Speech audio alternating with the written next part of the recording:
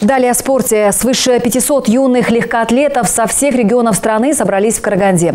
На стадионе «Шахтер» стартовал чемпионат Казахстана по легкой атлетике среди спортивных школ. В этом году за победу борются воспитанники 40 спортивных учебных заведений.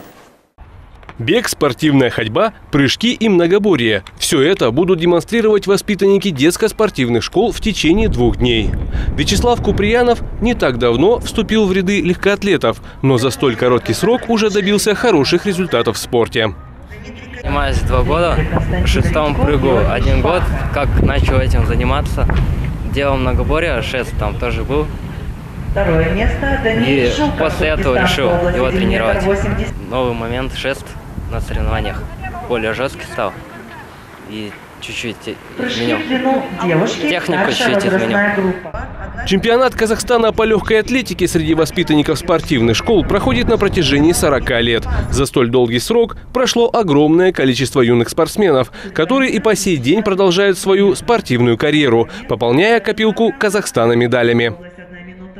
В этом году соревнования проходят в городе Караганде. Традиционно они были на Алматы.